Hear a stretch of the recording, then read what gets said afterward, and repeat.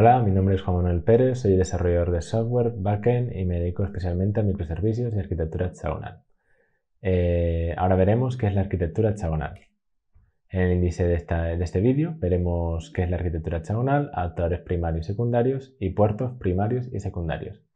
Bien, la arquitectura hexagonal es una arquitectura de software que ha evolucionado otras arquitecturas como la arquitectura Unión y en lo que se busca separar el core lógico de la aplicación, dejarlo en el centro, totalmente aislado del exterior, del cliente y de otras interacciones.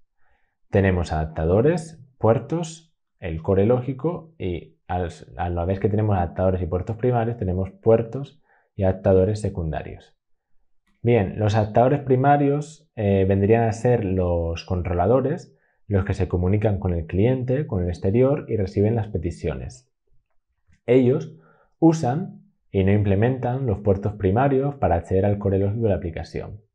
Después tenemos los adaptadores secundarios, que son la implementación de los puertos secundarios que acceden a bases de datos, a bases de datos de caché y a otros microservicios o sistemas en red.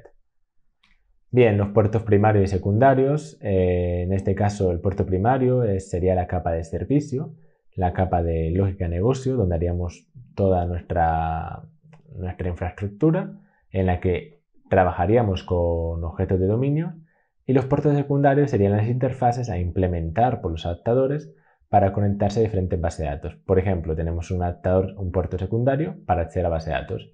Y adaptadores tenemos un adaptador para acceder a una base de datos MySQL, otro adaptador para acceder a una base de datos MongoDB, otro para Postgre, etc.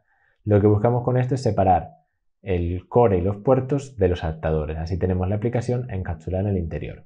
Hasta aquí este vídeo sobre arquitectura hexagonal. Espero que te haya gustado. Si quieres ir aprendiendo más sobre este tema, haz clic en el botón ahora y accede al curso en Open Webinars.